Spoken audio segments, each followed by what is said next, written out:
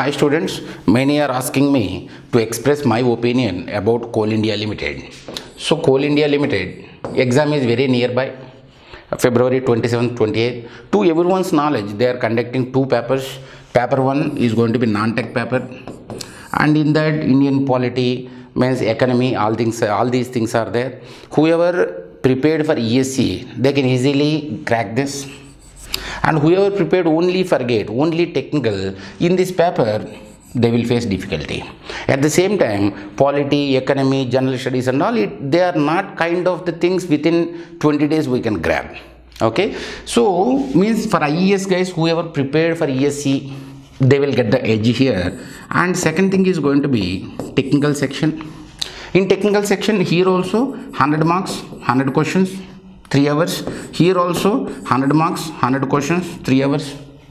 And taking non-tech part i don't want to say anything because i'm not proven yet.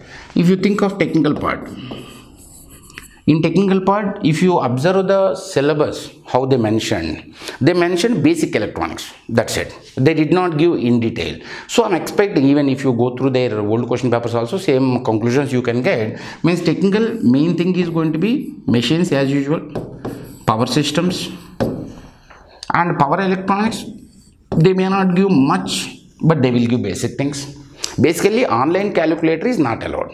Online calculator they are not providing. And our own calculators also they are not allowing. Means that standard of the paper or standard of the questions should be of not gate 2 marks questions kind of gate 1 mark questions possible. And ESE objective questions possible. So focus mainly on this area such that means lion share of marks we can get. And remaining whoever prepared for uh, gate this year gate this year definitely they will have edge here. Don't uh, run here and there. Some theory based questions will come can come. And at the same time means such a serious problems will not come because electrical engineering problems good problems calculator is compulsory. Okay? Signals and systems also they may not focus much. They may not focus much. They may not focus much because it's mathematical things. One thing i have to tell you here.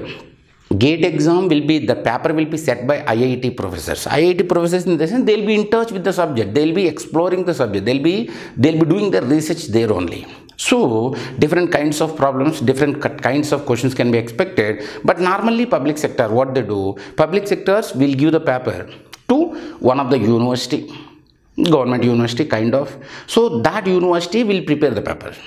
So most preferably most it's my personal opinion most preferably they cannot develop such a great questions. They may not develop such a great questions. So means i'm expecting this particular technical paper should be of substandard compared to gate compared to gate so remaining things you can do it you can do it.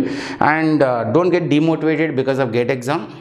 Cl is there BARC is there so many exams are upcoming okay? And uh, fortunately like uh, now i can say it is fortunate. That means some public sectors came out of gate exam. Even if you fail or even if you are unable to reach your expectations by gate exam like you can try with some other exams okay? Very all the best dear.